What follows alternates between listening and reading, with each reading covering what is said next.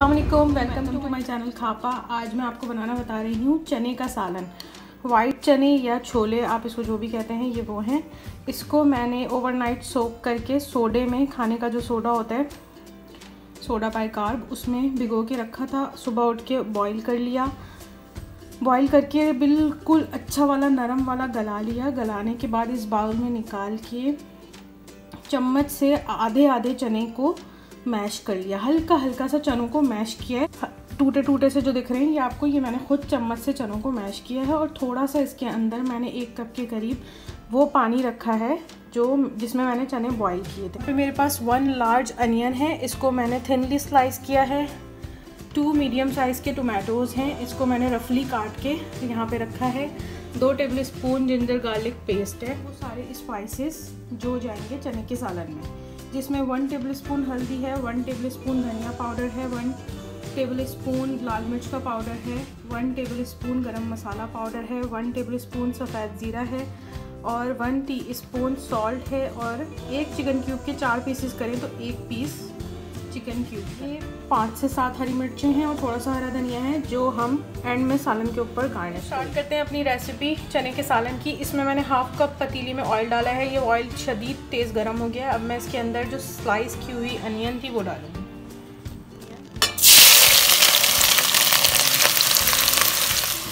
को golden brown करना है। इस प्याज को गोल्डन ब्राउन करना है हमें। गोल्डन ब्राउन होने तक इसको फ्राई करेंगे। ब्राउन हो जाएगी। तब हम इसमें ये सारे स्पाइसेस डाल देंगे। अदरक, लहसुन का पेस्ट डाल देंगे।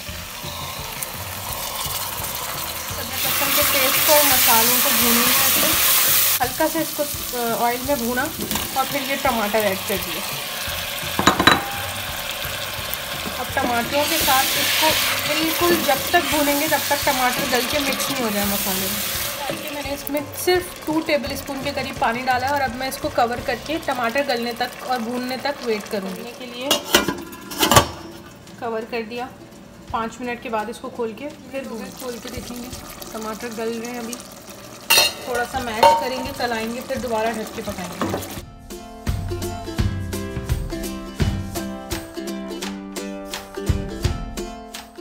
टमाटर बिल्कुल मिक्स हो चुके हैं मसाला भून चुका है। एकदम, अब हम इसमें चने डालेंगे। अब पूरे इस मसाले में डाल देंगे और फिर से मिक्स करेंगे। चनों को मैश ज़रूर करिएगा, उससे सालन गाढ़ा गाढ़ा और बहुत अच्छा बनता है मज़े का।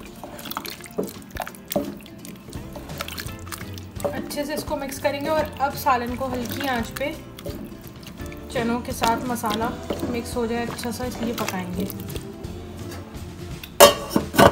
10 मिनट हल्की आँच पे पकाएँ। खोल के चेक करेंगे। ज़बरदस्त से चने पक रहे हैं और ऑयल साइड में आ गए। थोड़ा सा पानी इसमें है अभी तो थोड़ा और देर ढक के पकाएँगे। ये देखिए कितना बेहतरीन सा ये डन हो चुका है।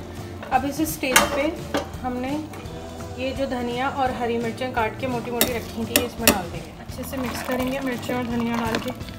ये देखें कितना ज़बरदस्त सा कलर है और खुशबू बेहतरीन उठ रही है और बहुत टेस्टी बनता है, ज़रूर बनाइएगा और ट्राई करिएगा ज़रूर। इस स्टेज पे आप इसका नमक भी चख सकते हैं, अगर आपको लगे कि कम है तो और ऐड कर सकते देखिए, चने का सालन ज़बरदस्त सा तैयार है। अब इसको सर्व करेंगे।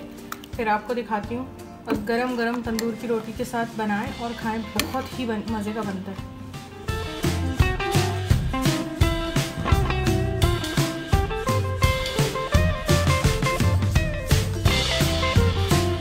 मज़ेदार सी चने के सालन की, छोलों के सालन की रेसिपी मिलती हुई एक और नई रेसिपी के साथ। तब तक के लिए अल्लाह हाफिज़ बाय और हाँ चैनल को लाइक शेयर और सब्सक्राइब ज़रूर कर लीजिएगा।